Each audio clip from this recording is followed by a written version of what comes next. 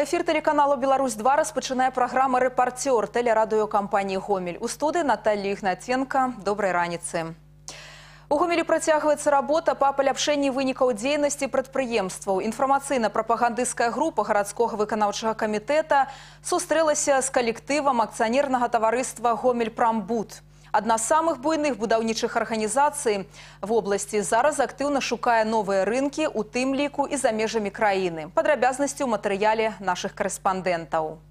Гомель-Прамбуд – прадпрыемства з вялікай гісторыяй, якой тут вельмі ганарацца. Тады яшчэ абласны будаўнічы трэст стварылі ў 1938 годзе, практычна адразу пасля заснавання самой вобласці. Менавіта Гомель-Прамбуд пасля вызвалення горада аднавіў усе буйныя прамысловыя прадпрыемствы абласнога цэнтра. У апошнія гады акцыянернае таварыства працавала на мазырскім нафтаперапрацоўчым і беларускім металургічным заводах. Узводзіла лоўскі камбінат будаўнічых матэрыялаў і лядовы палац у Гомелі, беларускі цаментны і рэшыскі дрэваапрацоўчы заводы. Праўда, частка заказчыкаў не разлічылася з прадпрыемствам да гэтага часу. Речь древ нужно месяцев 7, 68 миллиардов. Это сумма, сумма. У нас большие задолженности перед нами, наших заказчиков, где-то миллиона, миллиардов 120. И больше половины, это, считаю, речь древ. Очень сложно. Разам з тым кіраўніцтва акцыянернага таварыства не ўтойвае. У Гомель-Прамбуда ёсць і ўнутраныя рэзервы для павышэння эфектыўнасці дзейнасці прадпрыемства. Зараз, напрыклад, тут рыхтуецца да ўнясення карэктываў непасрэдна ў працэс арганізацыі работы. Ёсць пытанні і да выканання працоўнай дысцыпліны. Апрача таго, неабходна прымаць рашэнне аб захаванні кадравага патэнцыялу, бо частка спецыяльнасцяў сёння аказалася незапатрабаванай. Численность я бы не сказал, что она у нас падает, потому что есть виды работ, которые нам нужны, это бетонщики, каменщики, плотники, арматурщики. А есть отделочники, их не лишние. Будем смотреть, или их переучивать, или как-то другим методом очищать от этих лишнего груза. Или потом, может, появятся работы, не знаю. И землеройщики, УМ-11, механизация тоже. Нет земляных работ.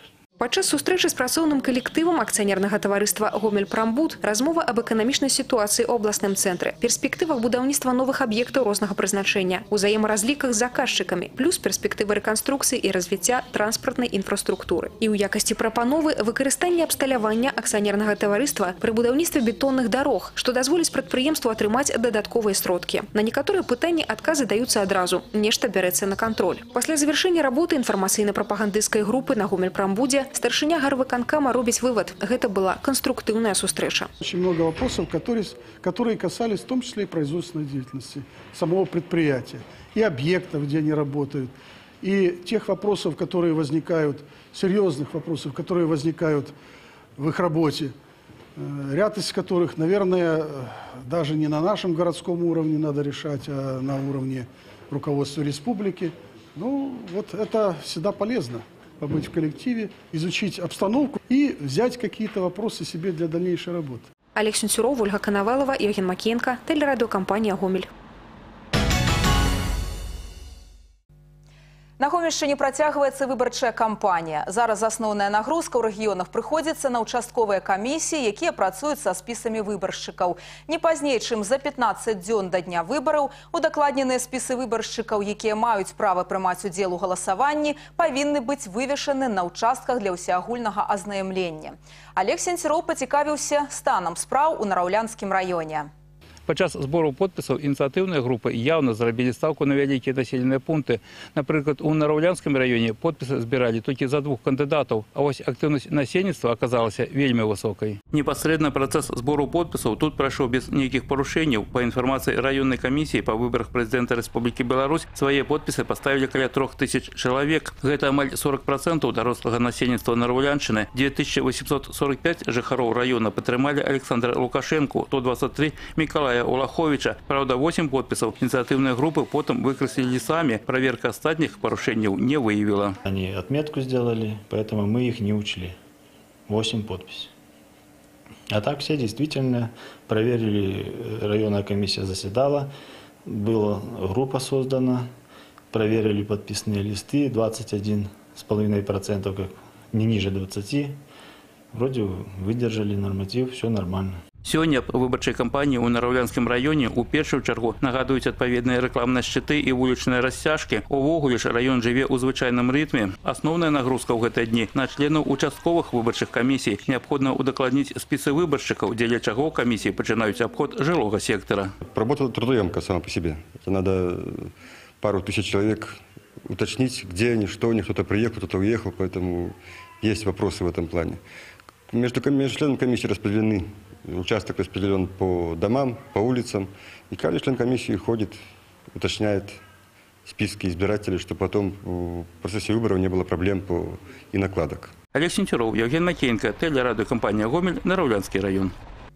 Да іншых тэм. Працягваецца візіт у Гомель дэлегацыі прадстаўнікоў агенцтваў, Арганізацыі Аб'яднаных Нацый і акрэдытаваных пасольстваў.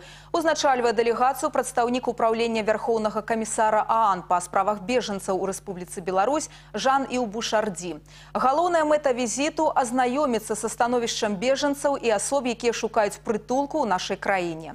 Абсалютная большасць прадстаўнікоў названай катэгорыі грамадзяне ўкраіны, якія былі вымушаны пакінуць дамы ў сувязі з узброеным канфліктам.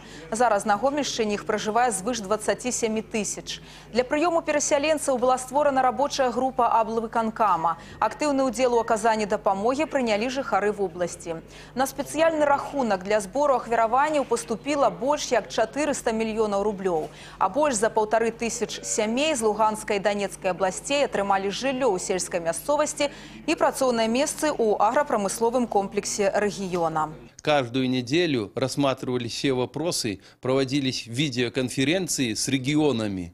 То есть был разработан алгоритм действий. Эта работа, она отмечена и управлением Верховного комиссара положительно, потому что наша область, как ни одна, э, конкретно занималась этими вопросами. На працягу двух дзён замежныя госці даведаюцца, якая дапамога аказваецца бежанцам з боку дзяржаўных органаў і грамадскіх аб'яднанняў, а таксама наведаюць сем'і з Сірыі, якія ў рамках сумеснага гуманітарнага праекта атрымалі жыллё ў Гомелі.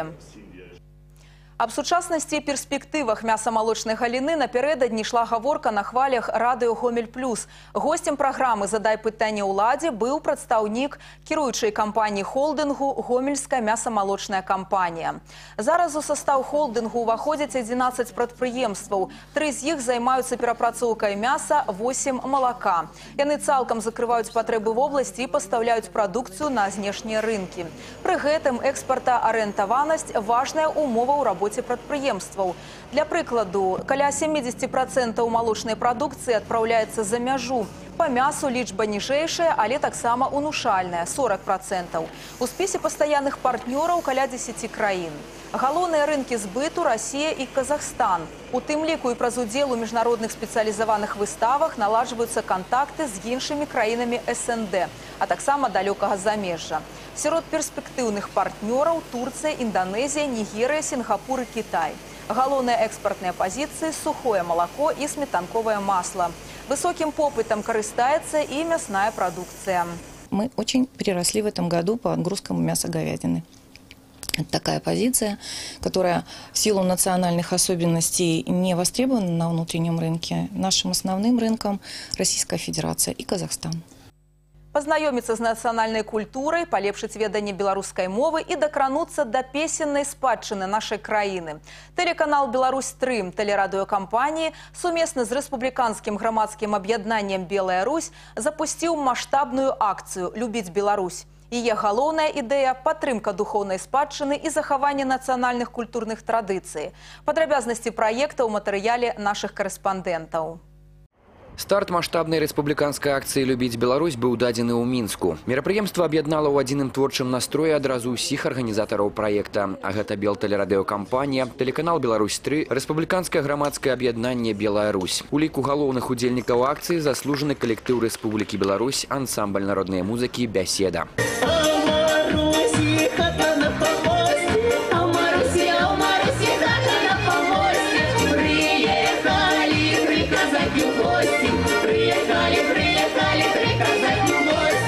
По задумце проекта заслуженные артисты отправятся на полтора месяца ў канцэртны тур по ўсёй нашай краіне. Завершыцца ён 10 кастрычніка гала-канцэртам у Мінску. Арганізатары абяцаюць, што праграма будзе насычана яркімі нумарамі з уласцівым калектыву нацыянальным каларытам, бо галоўная ідэя акцыі падтрымка духоўнай спадчыны і захаванне культурных традыцый Беларусі. Мы редко коли задумываемся, что э, а ці любим мы тое месца, дзе мы живем.